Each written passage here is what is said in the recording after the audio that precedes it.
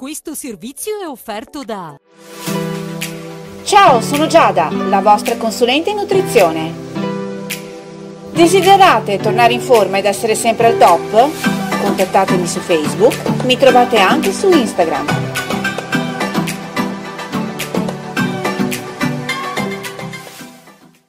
Primi tre servizi. Il Modena non ne vuole sapere di partecipare alla corsa per la promozione, continua a sprecare punti in modo incredibile. Anche contro il Trento la vittoria era a portata di mano, ma cinque minuti di follia sono bastati per rovinare tutto. Dopo un primo tempo esemplare, il Modena si è trovato in vantaggio di due gol. È stata sottolineata da applausi la segnatura di Bergamo, venuta a conclusione di una spettacolare azione aerea. Il Trento si è spinto in avanti e ha costruito due buone occasioni. Un tiro di Rossi ha colpito la traversa, mentre un diagonale di Mauro è uscito di poco. Il Modena ha agito in contropiede e ha ottenuto il raddoppio con Sorbello, servito da Costi, che si era spinto in attacco. Ma proprio il terzino destro ha dato il via alla serie di errori che ha consentito la rimonta del Trento. Con un problematico palleggio, Costi ha tentato di mettere fuori gioco un avversario, però ha finito per ingannare Ballotta e per spedire la palla nella sua porta. Cinque minuti dopo Colomba si è fatto soffiare la palla.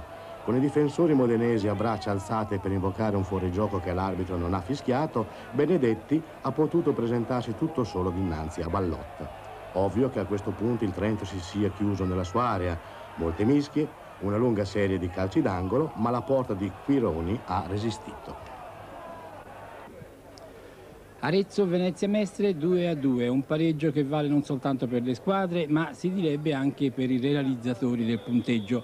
Infatti ai due gol del Veneto Solimeno nel primo tempo ha risposto nella seconda frazione di gioco l'Amaranto di Nicola con un'altra valida doppietta. Vediamo i quattro gol in rapida successione. La prima doccia fredda per i toscani al diciassettesimo con un bel colpo di testa di Solimeno appunto sul passaggio di Serena. La seconda rete degli ospiti arriva a tempo scaduto. Azione corale dei Veneti e stoccata finale dello stesso Solimeno che sorprende il portiere aretino. Nella ripresa, forte del doppio vantaggio, il Venezia Mestre tira un po' i remi in barca e l'Arezzo riprende fiducia. Ci si avviava alla mezz'ora quando Scanziani serve di Nicola che colpisce di testa e manda la palla in rete e siamo al 2-1. A 12 minuti dal termine lo stesso di Nicola si ripete girando in rete un cross di Cupini. È il 2 a 2 conclusivo e che premia salomonicamente, si direbbe, sia le squadre in campo che i loro rispettivi realizzatori. Quattro reti fanno bella ogni partita. Nel caso di Spezia Montevarchi il risultato di 3 a 1 in favore dei Liguri ha fatto vedere le concrete possibilità di promozione della squadra di Carpanesi ed il valore dei toscani. Ecco quindi la nostra rassegna di gol. Nel primo tempo lo Spezia muove tutte le sue pedine all'attacco e segna all'ottavo con Spalletti. Immediata reazione degli ospiti che pareggiano un minuto dopo con una gran fiondata su punizione di Giansanti. La situazione di stallo mette Pepe alle azioni dello Spezia, così al 35 Tacchi mette a segno la sua undicesima rete stagionale, prestazione che lo premia quale capo classifica dei cannonieri di questo campionato.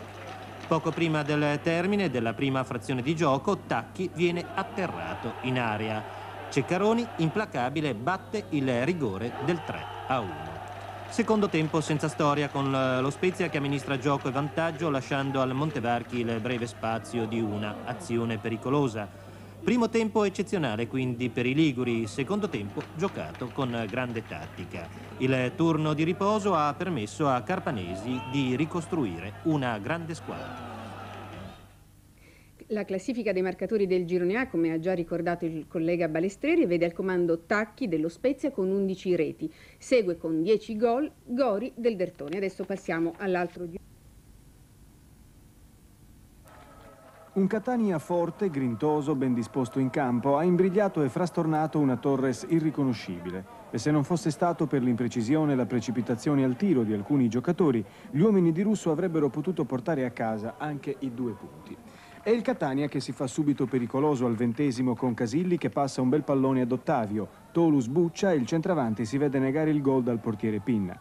Tre minuti dopo Mattei passa a Borghi, ma il suo tiro è troppo alto. Al ventiquattresimo è Zola che suggerisce ad Ennas la via della rete, ma l'attaccante sassarese spreca così. Comincia la sagra degli errori catanesi. Al ventiseiesimo Dottavio grazie a Pinna. Poco dopo Tolu riceve nell'aria catanese, stoppa e passa inspiegabilmente e debolmente al portiere Nieri. Al 32esimo Borghi spreca un bel pallone. Si va al secondo tempo e la Torres si mostra più grintosa. Al settimo ci tenta Zola con una delle sue ormai famose punizioni. Nieri non si fa incantare. Al quarto d'ora altro pericolo per la porta del Catania. Lungo di Ennas sulla fascia destra il suo suggerimento non viene raccolto da nessuno. Al diciottesimo ancora Ennas su punizione di Zola colpisce il pallone di testa ma niente di fatto. Quindi al ventunesimo Dottavio, solo contro tre uomini sardi, riesce a tirare, fuori di poco sul tuffo di Pinna. Poco prima della mezz'ora Liguori manda in campo Mario Piga e Di Francesco per dare maggiore intelligenza al gioco. Subito dopo azione pericolosa della Torres con testa finale di Bardi e rinvio della difesa catanese.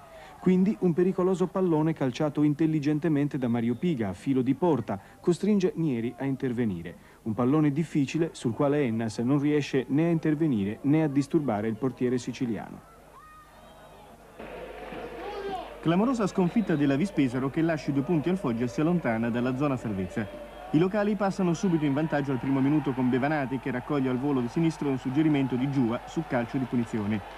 Il gol galvanizzava la Vis che rischia, si fa per dire, addirittura di chiudere l'incontro quattro minuti dopo, quando l'arbitro sorvolava su un evidente fallo ai danni di Briaschi, trattenuto per la maglia in piena aria.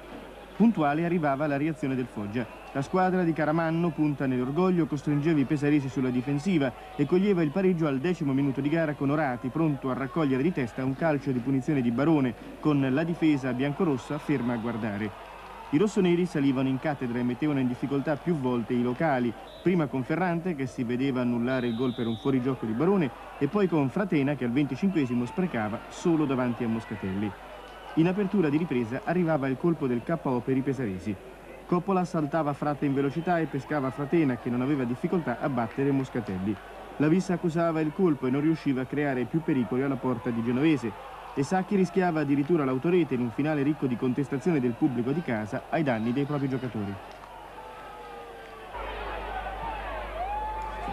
Il Campobasso, risolti i suoi problemi societari, indossa un nuovo look e vince sul Perugia, orfano di Ravanelli, capocannoniere del girone.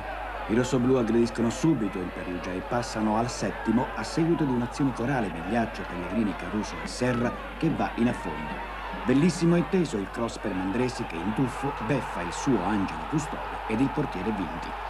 Timido tentativo di reazione del Perugia che colleziona una serie di angoli senza mai impensierire Nunziata al Campobasso si offrono diverse occasioni per chiudere l'incontro, ma non ne approfitta. Nel secondo tempo sono sempre i padroni di casa a cercare il gol sicurezza, senza tuttavia scoprirsi. Rosa e Migliaggio in difesa, Moro a centrocampo, Mandressi in avanti, i migliori. Al 54esimo Torroni riesce a chiudere in angolo su Moro. Al 58esimo il primo tiro a rete del Perugia. È di Manfrin che manda alto. Al 64esimo mischia in area dinunziata. Il pericolo viene sventato così. Sul rovesciamento di fronte, Valentini è costretto a fermare Mandressi al limite dell'area.